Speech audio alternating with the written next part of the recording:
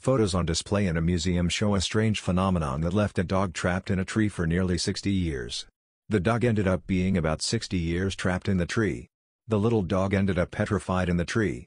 The dog got stuck and was never able to get out of the tree again, falling into an accidental and fatal trap. The researchers' main question was, how did this dog's body remain preserved for so long if there was no mummification technique to preserve it? Kristina Killgrove, an anthropologist and biological scientist at the University of West Florida, explained how the tree itself preserved the dog.